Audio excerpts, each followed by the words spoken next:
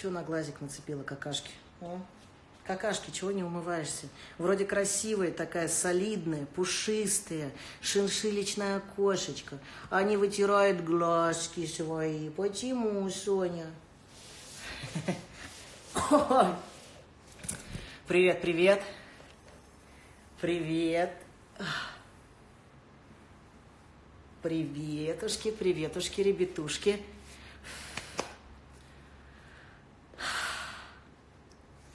Приветули, дули-дули.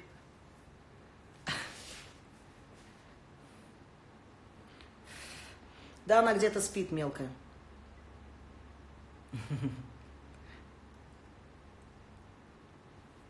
Севастополь, я вас приветствую. Соня, Соня, Соня. Что? Что? Соня. Вот она ходит, выпрашивает жратву. Сонька грязножопик. Сонька моя грязножопик, шиншилка моя. Да, вискас мой.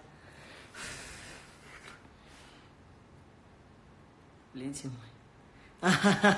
Привет, привет. О, Симферополь. Как дела? Да дела вообще прекрасно, дела отлично, пока не родила. Как дела? Пока не родила. Фу. Мы сейчас отзанимались, оттренировались. Отлично, сегодня у нас день спины был, вообще шикардосик. Шикардосик. Не могу понять, вы на фарме так раскачались? Нет, не только. Не обязательно только на фарме. Ну, фарма, конечно, была тоже в определенный период времени. Была. Она тоже помогла, конечно же. Но это не только фарма. Если вы не будете держать жесткий режим, не будете держать питание, здесь вам даже сам Бог не поможет раскачаться. А фарма, если вы не будете держать режимы питания, наоборот, раз, распидорасит вас, как э, свиноматку. Вот что с вами будет. Ну и, конечно же, э, бомбанет весь ваш гормональный фон, что потом пиздец будет вам. Вот, поэтому это не только фарма. Здесь, э, знаете, я вам скажу как, здесь 5% э, фармы, 95% ебашилова и режима полного. Вот так я могу вам сказать.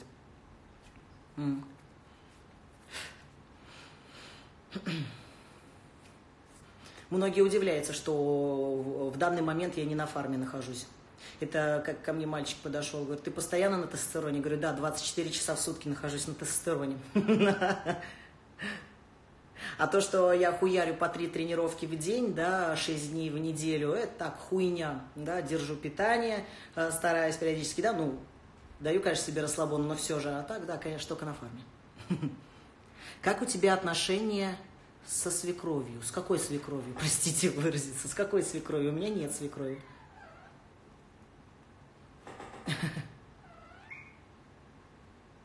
Есть девушки с мышцами сильно выраженными, а есть как модели Виктории Сиктрит, просто стройные. Вот от чего это зависит? Ну, начнем с того, что модели Виктории Сиктрит, они просто худые. Для меня это просто худые, я там вообще ничего не вижу. Просто стройные худые палочки. А сильно выраженными мышцами это уже фитнес девушки, это девушки фитнеса.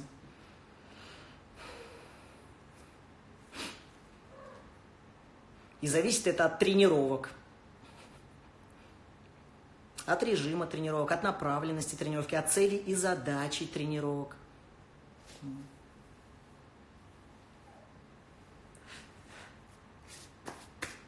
Вот и все. Здесь никакого секрета и нет особо. Все очень просто. Можно 5 кг за 3 недели скинуть? Да, конечно, можно, почему нет? Если будете э, жестко сидеть в режиме питания, то да. С мамой Светикой как отношения? У Светы нету мамы. Она, к сожалению, как и все, когда-то мы будем на том свете. Вот, к сожалению. Когда вечером последний раз кушаешь? В основном это всегда получается за час до сна, за два, за час до сна когда со Светой свадьбу хотите. Мы э, не паримся по этому поводу совершенно. Как только, так сразу, как говорится. Если есть проблемы с сердцем и нельзя кардионагрузки, какие можно физ нагрузки? А, смотря какие у вас проблемы с сердцем.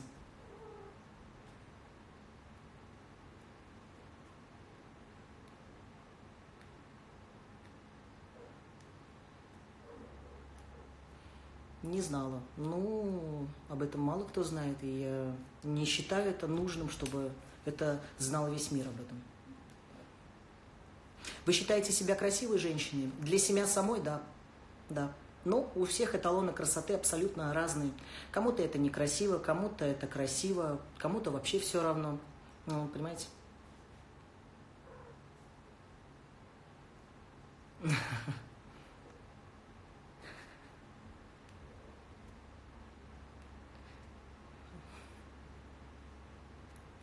Нет, я сняла пирсинг, не прижился, потому что...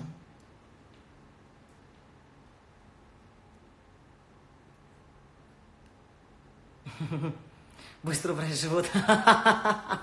Быстро бывает только просраться в сортире после пургена. Привет, мамуль. Тебя тоже, да, удивляет вопрос? Как перебороть лень? Я уже по поводу лени э, писала, отвечала на вопрос в сторис. Это не лень, это ваше нежелание, отсутствие вашего желания. Вот и все. Это не лень. Для меня вы очень женственны. Почему такой выбор спорта? Ну, это не то, что выбор спорта. Мне просто понравилось этим заниматься. Я всю жизнь, на самом деле, в спорте, э, вообще с детства в спорте. Вот, а 17 лет просто пошла в тренажерный зал, и мне это понравилось. Мне понравилось чувствовать свои мышцы, понравилось чувствовать свое тело. Э, я увидела, как меняются мои формы, и это все меня, так сказать, заряжало, мотивировало. И все. Потом решила дальше двигаться, решила, выбрала, выбрала, да, выбрала просто этот путь. Сам по себе, понимаете, я его даже не выбирала, даже сказать, даже не то, что выбирала, мне просто понравилось. И я шла за тем и делала то, что мне просто нравится. Вот и все. Получается, грубо говоря, даже не выбирала, а просто делаю то, что мне нравится.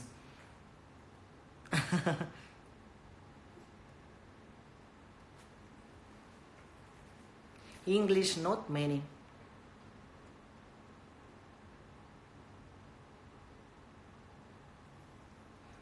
Складки на спине в зоне бюстгальтера, тренировки и питание. Вот и все. Привет. Красивый парень, если бы не знал, что вы девушка. И такое бывает. Как вы стали популярны в Инстаграм? С чего все началось? Ой, ну, Оксана, Оксана, да, Оксана, да я не считаю себя, если честно, популярной в Инстаграме, э, вообще, в принципе, потому что без меня до хрена блогеров-миллионников, я даже не миллионник-блогер, даже не полумиллионник-блогер, я просто обычный тренер, просто веду свою страничку, делюсь своей жизнью, делюсь своей философией жизни, да, э, вот и все. Вы планируете детей или есть проблемы? Нет, у меня проблем совершенно никаких нет, я просто не хочу детей, и они мне не нужны. Пока что. Пока что не нужно.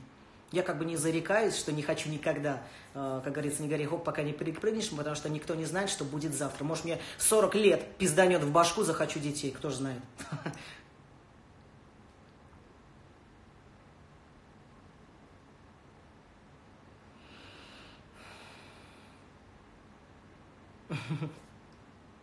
С капсулы смерти. Ну да, ну началось все с капсулы смерти, когда я начала делиться, да, впечатлениями поездки на автобусах.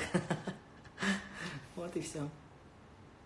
Куда отдать лучше ребенка, да? Ну, на самом деле, куда отдать лучше ребенка, знаете только вы. Никто не знает вашего ребенка лучше, чем родная мать. По сути, так должно быть. Ну, и вы должны видеть, какой у вас ребенок, активный, неактивный, да? выявить его тип, характер, вот, и понять, к чему он больше склонен.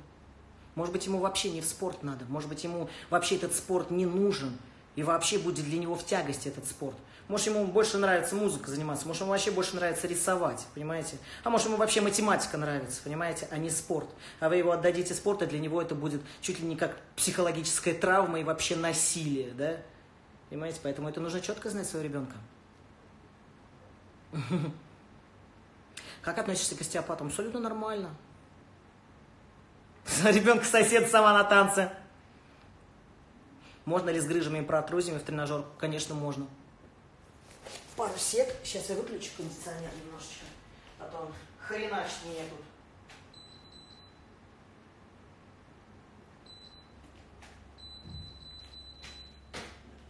Он мне прям в спинку фигачит. Рита, добрый вечер. Как вы относитесь к танцам? Абсолютно нормально. Мне нравятся танцы спортивные. Я ходила на бальные танцы, но это было в детстве.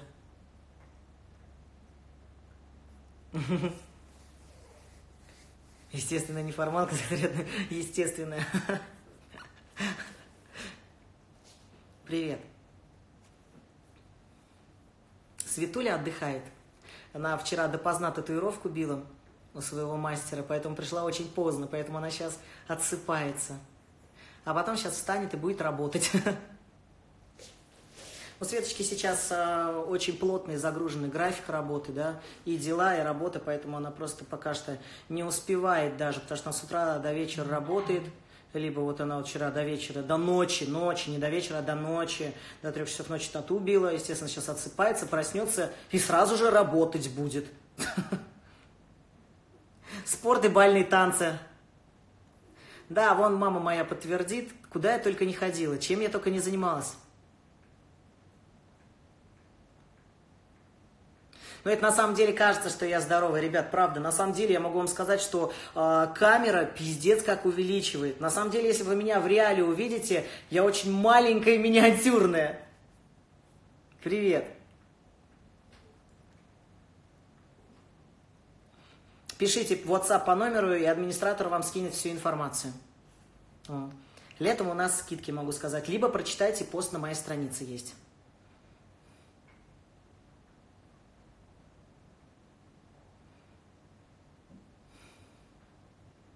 А, ну если он активный, ну не знаю. Можно для начала, на, можно и на плавание отдать, можно на единоборство отдать. Опять же, что больше нравится. Вариантов очень много. Да, вот видите, вон, мои девчонки, они не дадут соврать, что на самом деле я маленькая, я небольшая. Это кажется, что как будто у меня какие-то горы, огромные мышцы, а если вы меня э, в реале увидите, не, ну, понятное дело, я не стандартная, да, не, не стандарт, не такой, да, сказать но все-таки я не огромная. Да, камера делает эффект рыбий глаз очень сильно на самом деле. Родители легко приняли так, э, твою ориентацию? Да, они не принимали. Вот просто как есть, так и есть. Как говорится, если родители вас по-настоящему любят своих детей, они, главное, чтобы для них дети были счастливы и самореализовались. То есть, да, самореализованные личности были. Вот, они какие-то там упыри маленькие.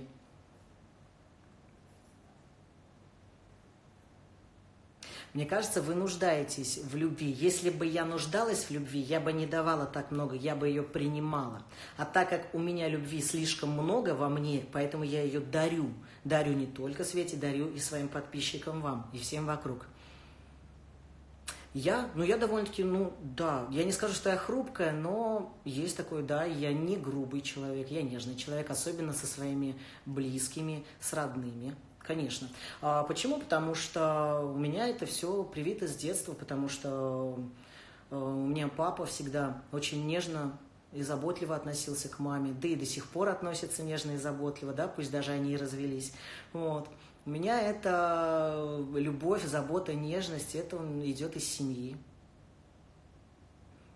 Ну и вот это вот спокойствие, потому что у нас никогда в семье не было скандалов, по крайней мере, я этого не видела. Может быть, родители где-то там а, ругались с папой, но мы никогда с братом этого не видели, поэтому я а, очень люблю спокойствие. Дома, по крайней мере, дома я очень люблю спокойствие, вот эту вот гармоничность. Я не люблю ссоры, не люблю скандалы, я терпеть ненавижу просто выяснение каких-то либо отношений, какие-то, блядь, я не знаю, терки, дилеммы, вот это вот вообще, для меня это прям вообще уму непостижимо. Мясо, да, конечно, ежедневно кушаю. Поэтому, наоборот, во мне, наоборот, очень много любви, Поэтому вы ее и чувствуете, поэтому я ее и дарю вам буквально через экраны. А если бы у меня была нехватка любви, вы бы не чувствовали мою энергию, и из меня бы ее не перло, из меня бы не перло так. Когда вы поняли, что вы больше по девочек, девочек привлекать, на самом деле, а, я не буду даже этого скрывать, я все-таки прокручиваю а, о, почему не рыкач? Да, у меня мама даже элементарно, если вы зайдете на страницу моей мамы, вы поймете, какой она человек. Это человек-солнышко, который тоже излучает из себя просто кучу энергии, кучу любви. Ну и папу, многие девчонки, кто моего отца видели, он тоже такой же, у меня, знаете, такой, ля, лапочка такой. Вот, поэтому... Кто родители по профессии? Э, пенсионеры.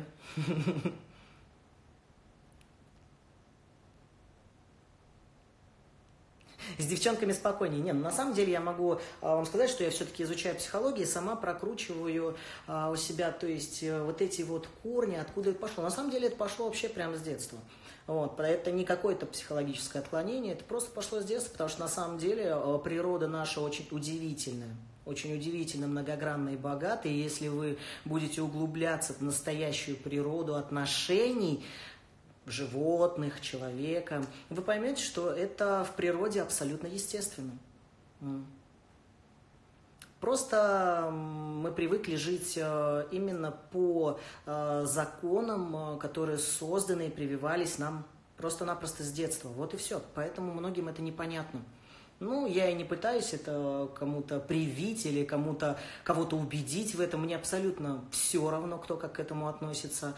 А, я просто живу счастливо, делаю то, что мне нравится, делаю то, что я хочу. Вот и все. Когда-нибудь мужчины, или тебе всегда... Нет, у меня были мужчины, были мальчики. Мама не даст соврать. Она до сих пор вспоминает ухаживание пацанов за мной. Как ко мне с, с гармошками на День Святого Валентина приходили с гармошками. Мама, а, можно играть гармонь любимый там. Кого ты, мам, там заказывала? А, зеленоглазное такси ты заказывала. За мной мальчик тоже ухаживал один. Не, у меня были мальчики все хорошие, я могу вам сказать. Спортсмены, музыканты и актеры. У меня был один актер, второй музыкант, третий спортсмен-паркурщик, и занимался этими, знаете, рыцарские бои, которые, знаешь, такие, ну, они выходят в шлемах там, ну, рыцарская херня, я не помню, как она называется. Вот. Так что у меня были. Привет. Да, с мамкой вместе ходили на свидание, да. А раньше еще были вот эти, помните, раньше были Аська. В телефонах Аська была. И раньше все знакомились в Аськах.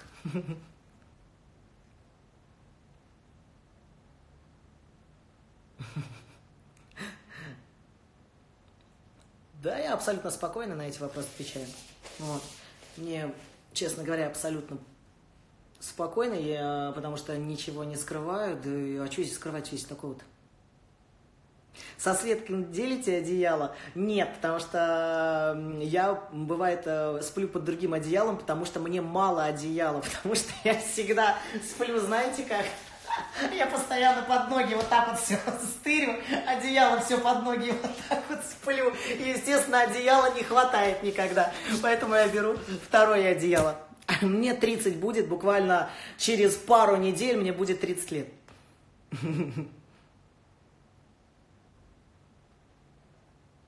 Да, в компьютере Аська, да, была, а потом в телефон ушла, да, вот в Аськах знакомились с пацанами.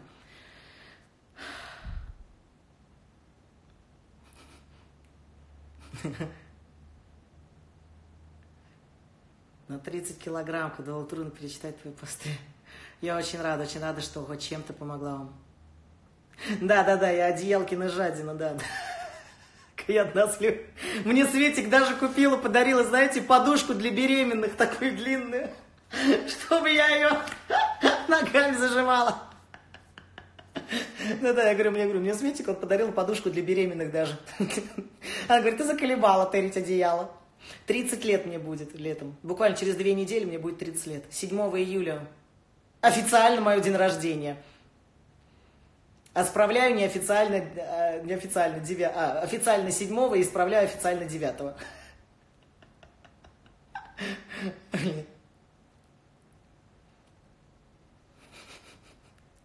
Ну да, одеяло интереснее. Или простынку. Мечтай такая, реально такая классная подушка вообще. Мягкая.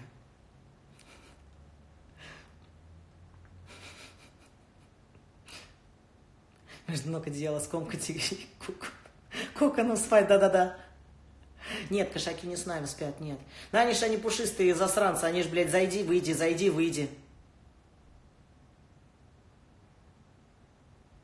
В июне только. А у меня вот в июле. Привет.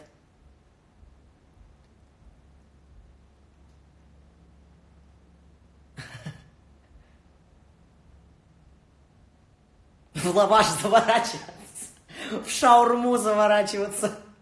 Человеческая шаурма. Пресс не меньше, чем через полгода, девочки. Не меньше, чем через полгода. Как бы хорошо не заживало. О детях нет, не думали. Нет. Пока нет. Пока не пришло время.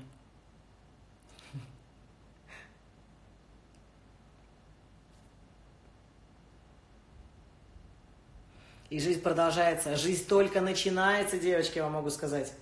Только начинается.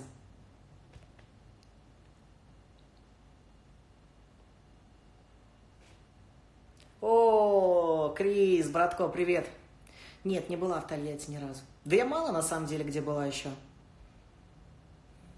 А если хочется прямо жрать, то нельзя. Почему нельзя-то? Почему нельзя? Тоже 7 только апреля. Вон, вон, мамка пишет, какие дети, ей вон двоих, она с двумя-то не справляется. Мамка у меня вон с двумя не справляется, внучатами, от брата моего родного. А вы говорите моих. Если я еще рожу, она там вообще повесится. Она скажет, все, я пошла в мир иной. Спасибо, хватит. Если нормальные роды, то через две недельки восстановились и можно начинать потихоньку.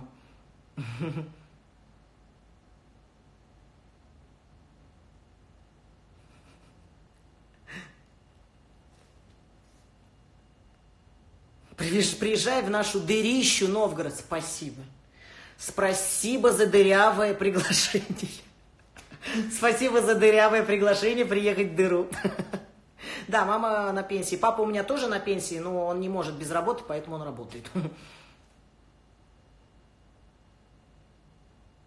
Но если вы в режиме месяц, можно. Потом все-таки выходить надо на поддерживающий режим. Постоянно, всю жизнь, каждый день тренироваться ну, нельзя. Вы развалитесь просто-напросто. Привет.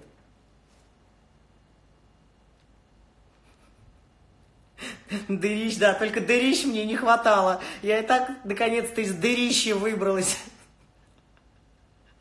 Помогаете финансово родителям? Да, если просят, конечно. А как же? Ну, папе я машину купила. Маме тоже финансово помогаю.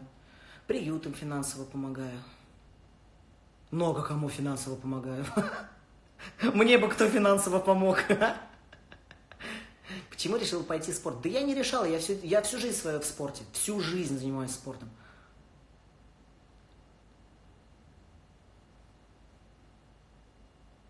Ваша свадьба снялась? Нет, не видела.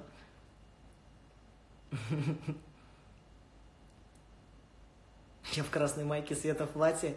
Стресс-машинка, ну, двигатель полетел, сейчас будем двигатель менять. Уже заказала новый двигатель в нее. Ну, короче, получилось так, я же нарвалась на мошенников, да, с машиной.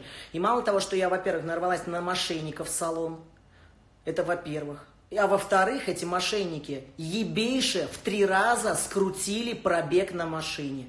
То есть я покупала, когда машину, у нее стоял пробег 130 тысяч. А на самом деле, когда в официальном дилере подняли всю историю, вот сейчас машины, да, моей, на самом деле у нее пробег там чуть ли не под 400 тысяч. Ну, понятное дело, что двигателю пизда уже. Вот. Ну, все, двигатель стуканул. Нет, у меня нет учителей наставников. Почему по югам не ездите? Потому что работаем. поэтому не ездим. Понравилось на свадьбе? Я рада. Мне посмотреть, я бы тоже хотел побывать там. Ой, да прилично стоит движок, прилично.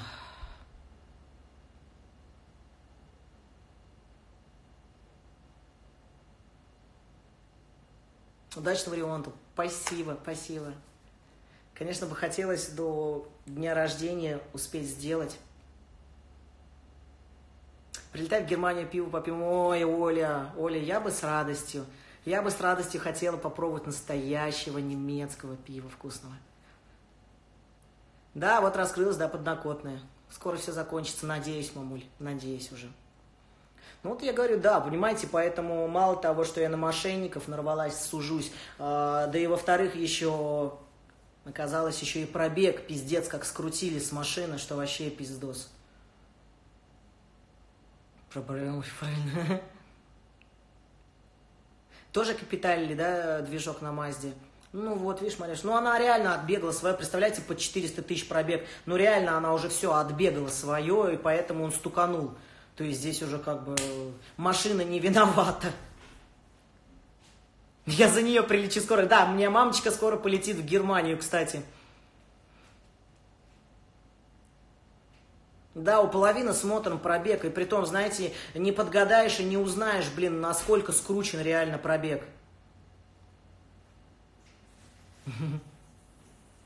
С питания, с питания начинать и тренировок хотя бы минимально. Куда столько есть можно? Ну, она, представьте, девчонки, 2008 года, 2008 года, а сейчас 2019 год уже. Нет, я лично не знакома со шпаками. Купила я ее в 2017 году. Мой любимый алкогольный напиток – пиво. Это мой любимый алкогольный напиток – это пиво.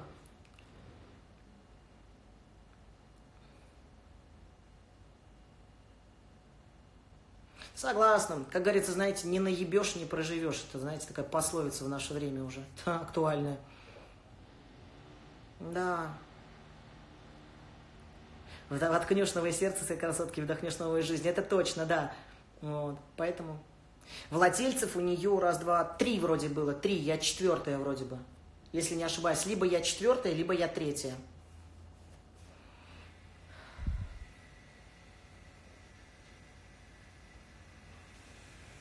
О, программа, по которой можно проверить всю историю машины. Интересно.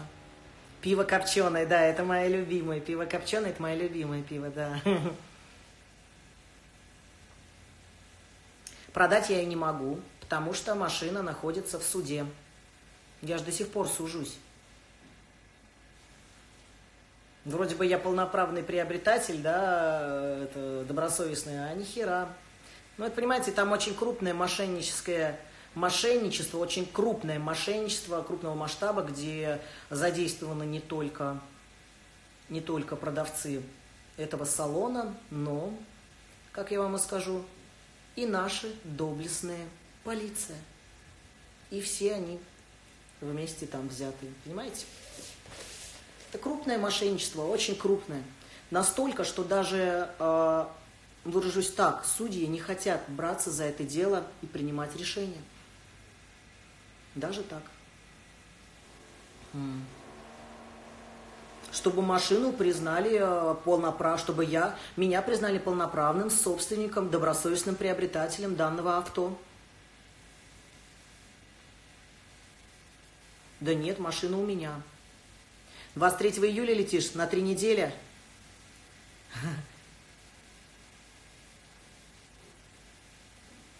Спеты, да. Все, там, понимаете, там все, все, все закручено, заверчено. А, если вы хотите почитать по поводу этого данного дела, просто вбейте э, «Гепард Авто Саратов». «Гепард Авто Саратов». Это уже дело длится уже с 2017 года. Я буквально в октябре приобрела машину. В октябре, когда я приобретала машину, но это вы все, может быть, многие помнят, потому что я выкладывала пост – а, выкладывала пост, сторис, когда я приобретала машину в салоне. Вот, а, и а, буквально в ноябре они кидают, в ноябре кидают бывших владельцев авто на деньги. Вот, не выплачивают деньги и скрываются. Вот, и, естественно, все подают коллективно в суд, и начинается катавасия. Начинается веселуха, которая длится до сих пор. Нет, я не занал брала, брала, я кредит оформляла. Я сделала первоначальный взнос, первоначальный взнос в салоне отдала 250 тысяч. И остальная сумма на 320 тысяч я оформила автокредит через банк, который выплатила. Выплатила и закрыла. Эти деньги бывший владелец забрал, получил. Он не получил деньги только от автосалона, с кем он заключал договор. Вот. Если бы, конечно, я занал брала, тут бы понятно, проблем было бы больше. Но тут, я, видите, я приобретала автокредит, вот. Машина была чистая, без всяких штрафов, без обременений, понимаете? Естественно, мне одобрили кредит, потому что банки-то не дадут кредит, если на машине какая-то хуйня висит. Поэтому машина была проверена, что все хорошо, все нормально. Я приобрела машину, оформила все документы, кредит оформила, выплачивала. Вот.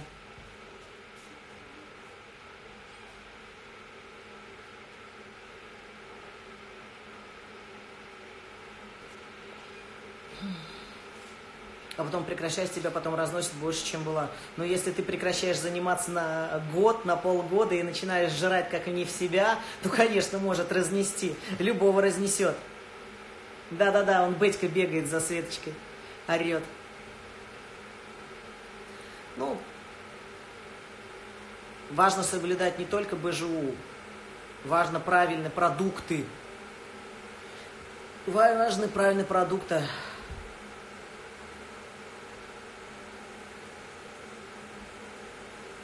Ну, 15 килограмм нет, 2-3 недели это не есть хорошо.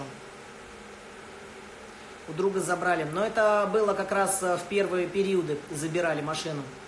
В первые периоды, когда только началась вот эта э, куматоза Васия, э, у многих забирали, чуть ли не в дома, в квартиры вламливались, выманивали людей из квартир, чтобы забрать, из, с работы отслеживали, где люди работают, забирали машины, да.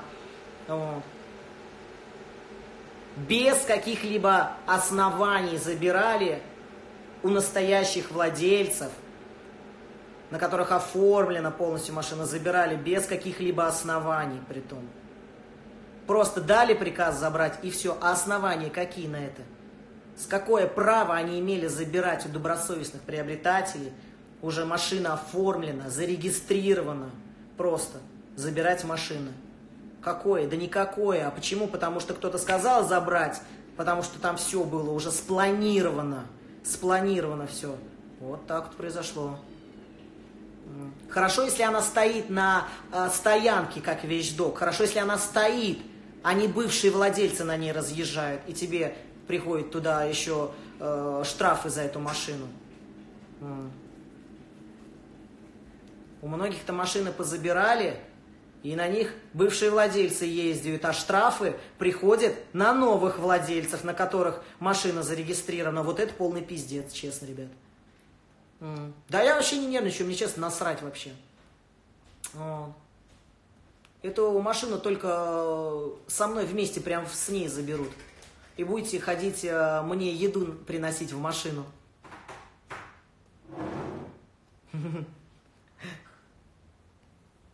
Не, я могу, конечно, отдать машину, ради бога, только я все повытаскиваю из нее, что я приобрела, что я ремонт сделала. Колеса свои заберу, на кирпичи поставлю, ради бога, забирайте. Забирайте, вот как я ее покупала, вот только в таком виде вы ее и заберете. А так как половину этой машины уже у меня документы есть, половина деталей, это моя собственность, моя приобретенная, вы можете забрать только железки от этой машины, ради бога, забирайте. Вот. На кирпичи поставлю, берите. Тем более у нее движок сейчас полетел. Пожалуйста, если вы доедете на эвакуаторе, можете куда хотите на эвакуаторе ездить. Мне все равно прям. Тем более у этой машины движок наебнулся уже. Можете прям забирать смело машину, вообще срать. Движку пизда. Хотите девалятам, пишите в WhatsApp. И можете прям на эвакуаторе разъезжать на этой машине. Похер вообще мне.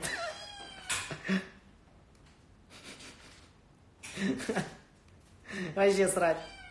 Да, вот там это, там, там атака началась. Вон, смотрите. Вон, смотрите, атака, сейчас Светика сожрут.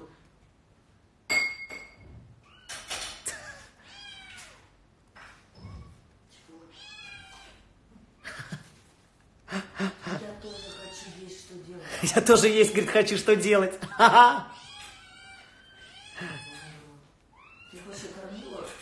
Нет. Камин? Нет, еще не работает. Мне уже четвертый месяц шлют парогенераторы, все. Четвертый месяц. Полгода уже. Светик, привет, все кричат. Привет. Привет. А не надо, сейчас Светика сожрут прям. Черепаха не нужна? Нет, спасибо, у меня тут вот этих троглодитов хватает, вот так. Какая нахрен черепаха?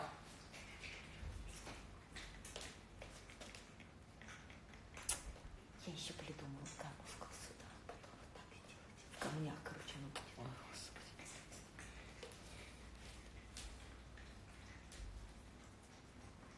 Господи.